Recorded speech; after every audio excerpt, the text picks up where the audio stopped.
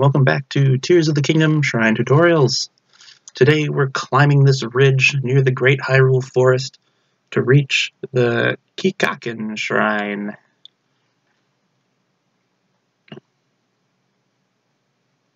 The Kikakin Shrine is going to have us use a Zonai device to solve some puzzles. As we enter the shrine, we'll be in complete inky blackness. That's okay, though. We are going to be given a tool to complete this puzzle. As you can see, we've got a flashlight, and it's shining on this green door. So we need to go find the key for that. The rest of the shrine is a maze. There are several treasure chests in here as well, so I'll be showing you how to get all of those as well.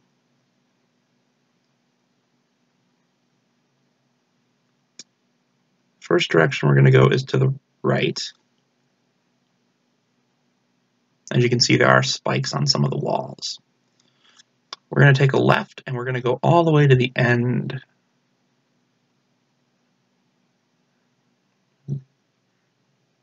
Before turning left again. As you can see, some of these spike walls move, so we're going to wait for that spike wall to go all the way forward, and then as it recedes, we'll walk past.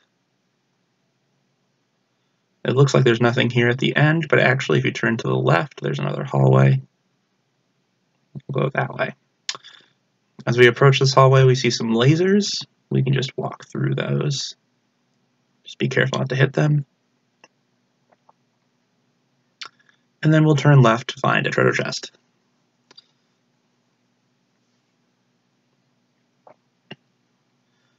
This chest has an opal Afterwards, we'll head back through the lasers.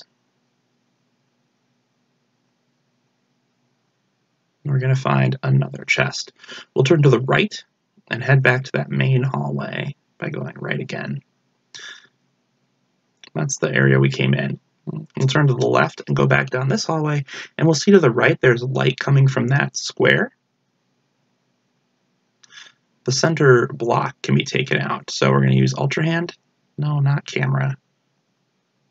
There we go, Ultra Hand. We're going to take that block out, and we're going to use it as a step ladder to get up there.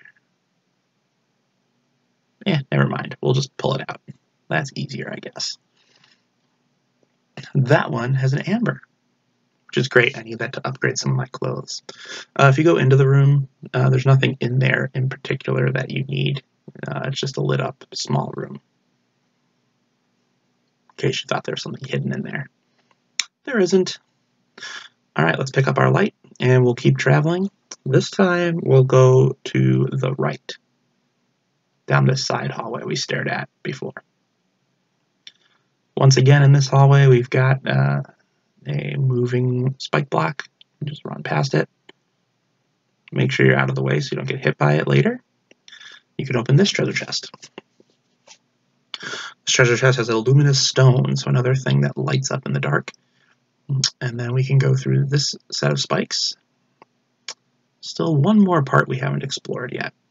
We're going to backtrack to where we found the lasers. So if we turn to the right, then turn to the right again, blocks moving. Instead of going to the left like we did before, we're going to turn to the right. And we're going to see that there's a stone on the ground that is removable. So we'll set our light down. We'll use Ultra Hand to lift that block up. There's another treasure chest in there. This treasure chest has the key. Once you have the key, you can return to the door, and the shrine's all done. Thanks for watching, and we'll see you at your next shrine.